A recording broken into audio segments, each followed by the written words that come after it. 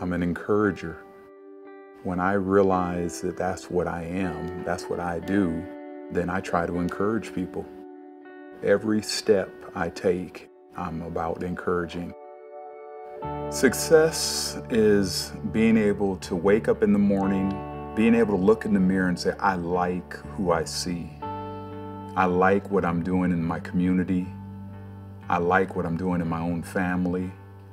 I like the effort that I'm making in my place of employment. To me, success is, a, is an emotion, is a feeling. It's not a, a necessarily a doing.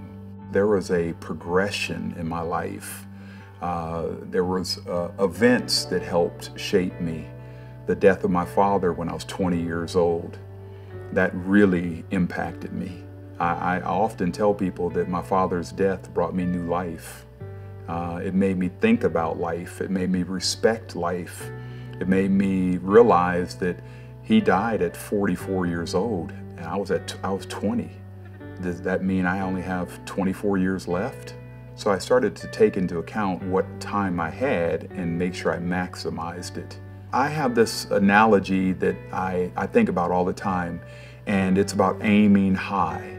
You know, an archer trying to hit a mark 50 yards out they have to aim higher than the mark is because gravity is going to pull things down. So I started aiming higher. And if you aim higher, you're, you're more likely to hit the mark.